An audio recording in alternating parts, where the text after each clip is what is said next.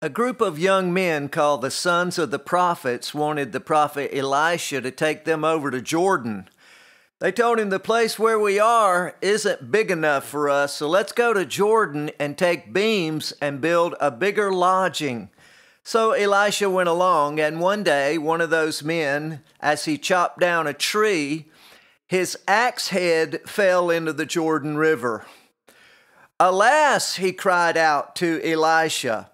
My axe head has fallen in the river and it's borrowed.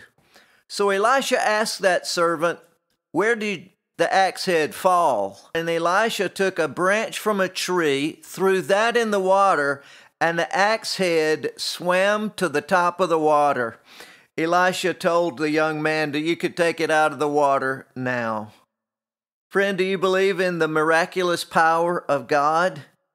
Now, if you don't believe that story, if you don't think that God has enough power to float an axe head, then what in the world are you going to do? Let's talk about this.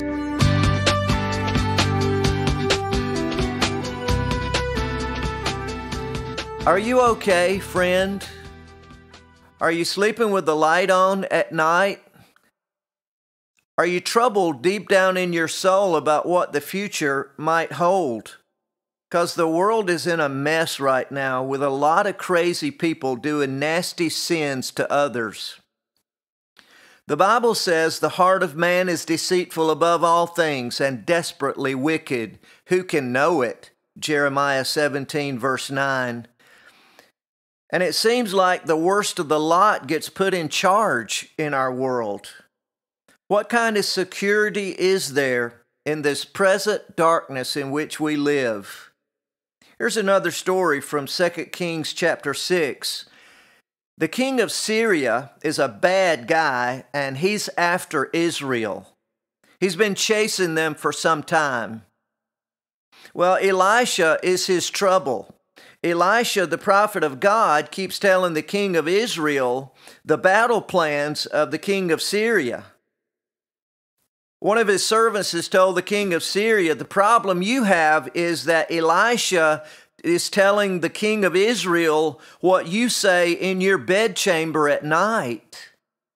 And so, plan A then for Syria is to kill Elisha. So out they go in an army. 2 Kings chapter 6 and verse 13. Here we go. And he said, Go and spy where he is, that I may send and fetch him. And it was told him, saying, Behold, he is in Dothan. Therefore sent he their horses and chariots and a great host, and they came by night and compassed the city about. And so Dothan, where Elisha is, gets surrounded in the night time by the great armies of Syria.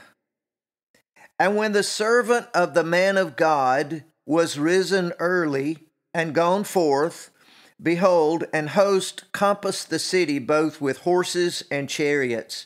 And his servant said unto him, Alas, my master, how shall we do?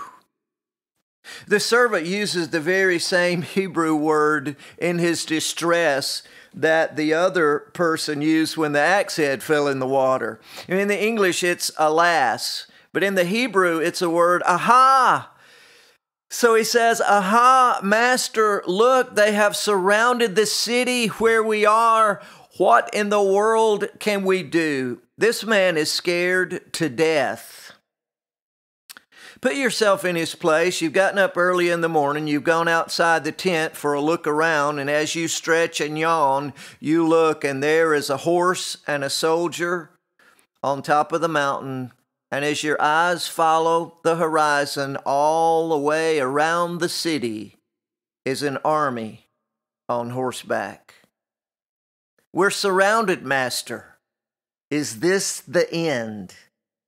Well, Elisha knows this is no problem at all, and he tells the servant that there are more with us than there are who are against us. That's in verse number 16. In verse 17, the Bible says, Elisha prayed and said, Lord, I pray thee, open his eyes that he may see. And the Lord opened the eyes of the young man, and he saw, and behold, the mountain was full of horses and chariots of fire round about Elisha. Is that good?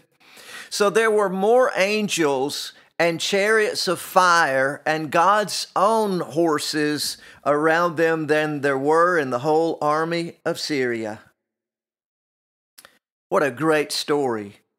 And it has a lot to do with where we are today. Do you see the current problems and the darkness that we live in and the bad news? It seems we get blindsided every day by some new, horrible, strange thing that's never happened before.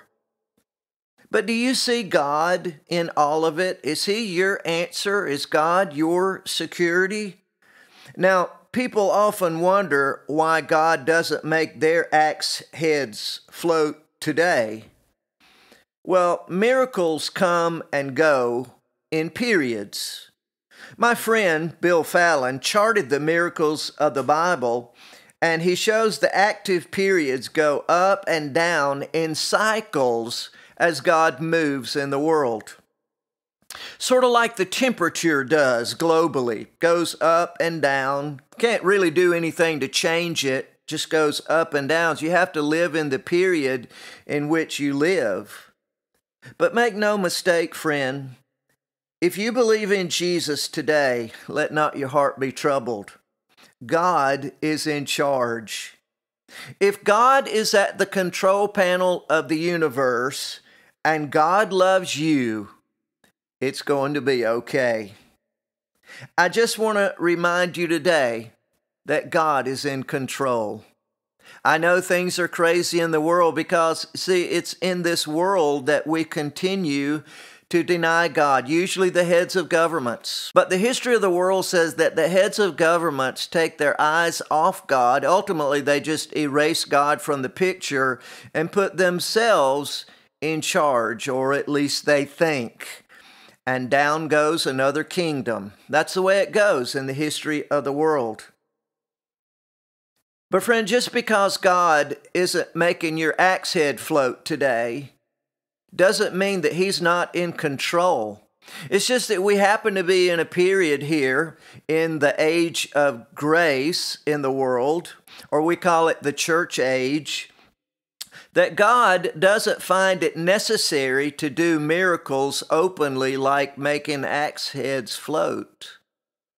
God has already told us in His Word the big news is that Jesus has died on the cross. The big command from God, what He wants everyone to do, is change their minds about Him who don't believe, to rest their faith in Him. And in particular, God expects all men everywhere to believe in Jesus Christ as the way, the truth, and the life. That's the command of God. And he promised us that his action is going to be to save everyone who believes in Jesus. And he's going to gift them, he's going to make them a part of his family, and he's going to use them to reach other people. And that this church is going to have its great run in the world as the communication of God. And God has promised that in the end of the church, there's going to be this great event called the rapture. That rapture is the next big thing of God. So, do you see how it would be sort of condescending just to simply make an axe head float? Now, you could go ahead and pray. I do pray for a miracle in various situations. It's fine. God can do anything God wants to do anytime He gets ready. But the period we're living in is already charted for us. It's cut and dried, the things that God is doing. He is working in the world today to cause people to believe in Jesus Christ. That's God's business. And He's going to come and rapture the church away. Now, I know, I know, it's so dark. It's more likely today that a senior military officer will tell us that it might be little green men than it is to tell you that God is real and is there to help us through a crisis. When men don't have faith in God, in fact, when men outlaw God, when men try and make it illegal to even talk about God, who imagine all kinds of weirdo scenarios like little green men. Isn't that sad? But, friend, I don't know what I would do to face the future if I didn't have full faith in Jesus Christ that He holds it and it's going to be okay.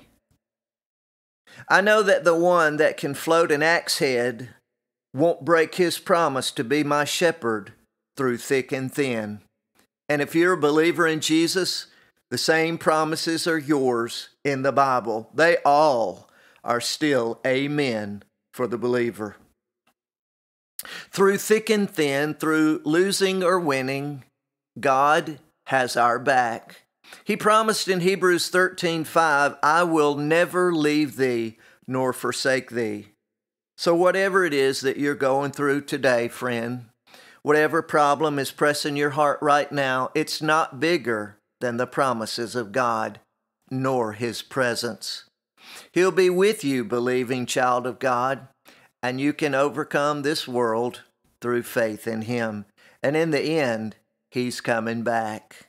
Friend, aren't you glad for that hope that we have and the comfort that we have when we talk about the rapture of the believers? I know He's coming back, friend. These current problems that we're having are only a little message to us in the world that we're a little bit closer to the rapture of the church. Now, could I spend a few moments, friend? Maybe you don't have faith. Maybe believing in miracles has always been a hard thing for you, but I want to tell you if you don't have faith, you should, in fact, be very afraid because this world is hurtling towards a place of trying its very best to be without God. And without God, there is only darkness and separation and death and condemnation. This world left to itself, make no mistake, will destroy itself. All those men whose hearts are deceitful above all things and desperately wicked, they will over time consume themselves with their own lust and greed without the intervention of God. So, can I ask you today to reconsider your faith in Him? Isn't it amazing, truly amazing, that some people are more likely to believe that there are space aliens than to believe in God? But what a load of evidence God has given us in the reality of God, in the creation that He made, and in the Word of God that He's given to us. 66 books together. The all time worldwide bestseller book given by God as He led men to write under his inspiration. Friend, you can believe in him if only you will. Now, here's what he's done for you He loves you just the way you are. He knows everything wrong that we've ever done, and He loves us still. Now, I know we're not that way. That's just not the way our love works. But it's the nature of God, it's the attribute of God to love you. And He loves you before you do anything for Him. And He's proven His love in this. The Bible says that God so loved the world that He gave His only begotten Son, that whosoever believeth in Him should not perish, but have everlasting life. That's John 3:16. When the Bible says that God gave his only son, that's what he means about Jesus dying on the cross. Our sin payment was death. That's our penalty. But Jesus paid it for you. He says you'd have everlasting life if you put your faith in Jesus Christ.